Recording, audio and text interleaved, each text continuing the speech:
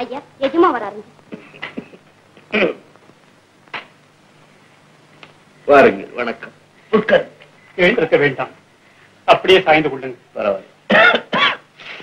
உடம்பு எப்படி இருக்கிறது? ஜுரம் ஜுரம் நின்று விட்டது. நாளை எழுந்து நடமாட முடியும். மிக்க மகிழ்ச்சி. இதை உங்கள் வீடு போலவே நினைத்து எத்தனை நாள் வேண்டுமானாலும் தங்கி ஓய்வெடுத்துக் கொள்ளுங்கள். நான் வருகிறேன். ஐயா இருங்க இத்தனை நாட்களாக அந்த குகையிலே இருந்த எனக்கு. உங்களை பார்த்ததும் என் சொந்தக்காரர்களை பார்ப்பது போல் இருக்கிறது. ஆமாம் நீங்கள் தமிழ்நாட்டிலிருந்து இலங்கைக்கு குடி வந்தவர்களா ஏன் இந்த ஜனசஞ்சாரமற்ற இடத்தில் தனியாக வசிக்கிறீர்கள்? அதையெல்லாம் கேட்காதீர்கள். அது எனக்கு ஏற்பட்ட துர்பாக்கியம் கவலை இல்லாதவர்களே இந்த உலகத்தில் இருக்க மாட்டார்கள் போல் இருக்கிறது. எங்கள் குடும்பத்தில் ஏற்பட்ட விபத்து நீங்கள் கேள்விப்பட்டால் உங்கள் கவலையெல்லாம் மறந்து விடுவீர்கள் அப்படி என்ன நேர்ந்தது?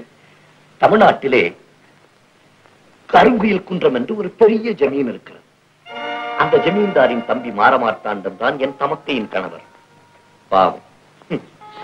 மாரமார்த்தாண்டன் ஜமீனுக்கு ஆசைப்பட்டு தன் அண்ணனான ஜமீன்தாரையே கொன்று விட்டார். ஏன் நீங்கள் கேள்விப்பட்டிருக்கலாம்? ஆமா. ஆமா. கொலைக்கு பிறகு ஓடிப்போன மாரமார்த்தாண்டன் இன்னும் மகப்படவில்லை அல்லவா? எங்கு போய் இறந்தாரோ தெரியவில்லை. விவாகரத்து செய்து கொண்ட எனது தமக்கையை மீண்டும் மறுமணம் செய்து கொள்ள வேண்டும் என்று எத்தனையோ ஜமீன்தார்கள் வற்புறுத்தினார்கள். ஆனால் என் தமக்கை அதற்கெல்லாம் உடன்படவில்லை. அவர்கள் மறுமணம் செய்து கொள்ள வேண்டும் என்றால் இப்போது கருங்குயில் குன்றத்து ஜமீன்தாராக இருக்கும் இகலமார்த்தாண்ட பிரபுவை தான் செய்து கொள்ள வேண்டும். அப்படி. ஆமா. ஏ? யோ இதெல்லாம் ஏங்கட்ட வச்சுட்டாங்க அப்படி பாக்க வெட்டுற மாதிரி வெட்டி எரிஞ்சிருவேன். இன்னைக்கு இருந்துட்டு நாளைக்கு உங்க ஐயா பண்ணால நாயாட்டம் ஓடிடுவேன். காதலாம் கத்திரிக்காய். இதெல்லாம் யாருக்கிட்ட? பாரு. நான் தமிழச்சி. என்னது? அப்படி ஒண்ணும் தெரியலையே. தமிழ்நாட்டை சேர்ந்த ஒரு பொண்ணு இப்படி நாயாட்டம் கட்டாது யோ அப்படி போட்டேன்னா? ஐயோ போடுறதுதான் போடுறேன். இப்படி போடுறேன் வேலை வேலை. சத்தியமா? எங்க அப்புறானு? உன் மேல நான் ஆசைய வச்சுட்டேன். ஏதாவது அப்படி இப்படின்னு சொன்ன உசுரை விட்டுருவேன். யோ ஏன் எங்கேயோ பிறந்துட்டு இங்க வந்து உசுர விட்டு வேலை உன்னை தனியா விட்டுட்டு நான் செத்துடுவேன்னு பயந்துட்டியா. இந்த உயிரை உன் மேல விட்டுடுவேன்னு சொன்னேன். அப்புறம் நம்ம ரெண்டு பேரும் ஒன்னா ஜிரு ஜிருன்னு பால்ல தண்ணிய ஊத்துற மாதிரி. எஜமா சாப்பாடு தயாரா இருக்கு. சாப்பிட வாங்க. இத வருகிறேன். அலமு சீக்கிரம் வர சொல் என்ன வேலாயி? அம்மா அவரோட சாப்பிடுறாங்களா நீங்க வாங்க ஓ நீ போ. ஐயா வர்றாரு அப்பா. அலம்மா வணக்கம். வாருங்க உட்கார். தம்பி இந்த ஏழையின் குடிசையில் இவ்வளவு நாள் தங்கி இருந்து என்னை பெருமை பிடித்திருக்கிறீர்கள் அப்படி சொல்லக்கூடாது. நீங்கள் உங்கள் பெண்ணுமாக சேர்ந்து என்னை கொள்ளைக்காரர் கையிலிருந்து வியாதியிடமிருந்தும் காப்பாற்றி இருக்கிறீர்கள் இந்த உதவியை என் உயிருள்ளவரை நான் மறக்க மாட்டேன். இது என்ன பெரிய காரியம்?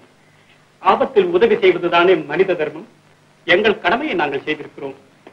நீங்கள் சந்தோஷமாய் போய் வாருங்கள். போவதற்கு முன் ஒரு வேண்டுகோள். தயவு செய்து தாங்கள் அதை நிறைவேற்றி வைக்க வேண்டும். தாராளமாய் செய்கிறேன். என்ன சொல்லுங்க உங்களுக்கு ஆட்சேபனை இல்லை என்றால் உங்கள் மகள் அலமுவை. அலமுவை? நான் திருமணம் செய்து கொள்கிறேன். என்ன? என் மகள் அலமுவிய? நீங்கள் மணந்து கொள்வதா? ஏதாவது கனவு கண்டீர்களா? ராஜ குடும்பத்தில் பிறந்த நீங்கள் எங்கே? இந்த குடிசையில் வாழும் நாங்கள் எங்கே?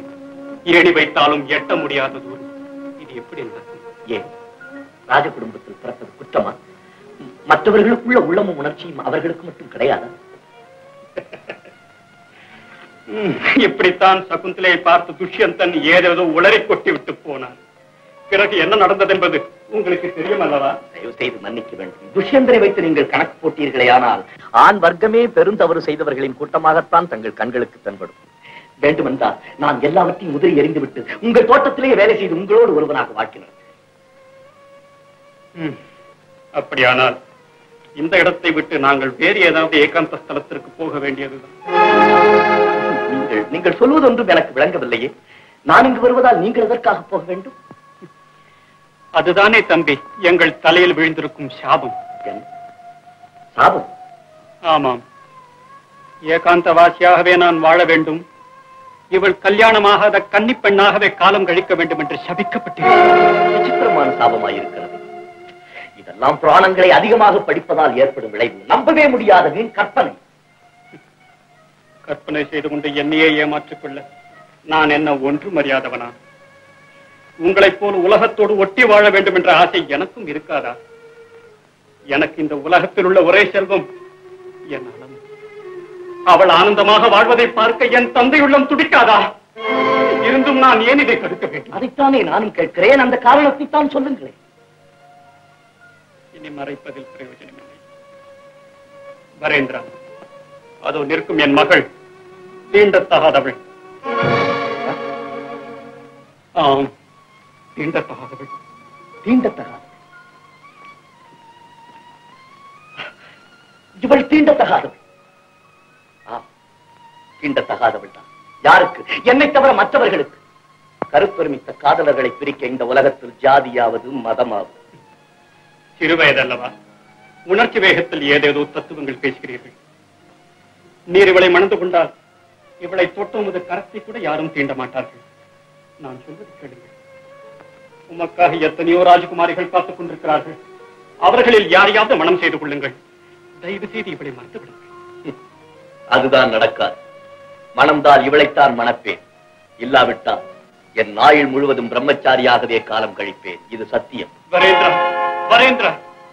என் மனோநிலையை புரிந்து கொள்ளாமல் என்னை இப்படி சித்திரவதை செய்கிறீர்களே. இது தர்மமா? எனக்கு உண்மையிலேயே நீங்கள் நன்றி தெரிவிப்பதாயிருந்தால் தயவு செய்து இவளை மறந்து விடுங்கள் தயவு செய்து உங்கள் காலில் வீழ்ந்து வேண்டுமானாலும் ஐயா!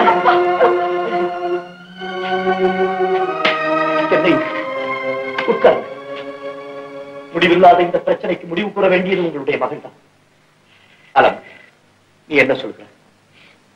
உங்களுக்கு அவமானமும் துக்கமும் தரக்கூடிய இந்த திருமணத்திற்கு நான் ஒருபோதும் சம்மதிக்க மாட்டேன். நன்மை தருவதாக இருந்தால் இந்த சுபகாரியத்தை அப்பா தடுப்பாரா? ஓ உன் முடிவை நான் ஒப்புக்கொள்கிறேன். ஆனால் காலம் ஒரு நாள் உன் தந்தையின் மனதை மாற்றத்தான் போகிறது. அதுவரை நான் உனக்காக காத்திருப்பேன். மறந்து விடாதே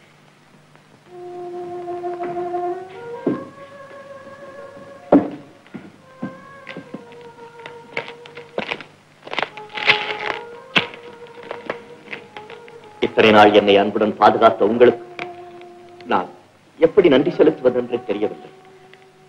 தம்பி இப்படி ஒரு துர்பாகியனை இந்த ஏகாந்த ஸ்தலத்தில் சந்தித்ததாக யாரிடமும் சொல்லாமல் இருப்பதே நீங்கள் எனக்கு செலுத்தக்கூடிய நன்றியாகும். அடுத்த வினாடி முதல் எங்களை மறந்து விடும்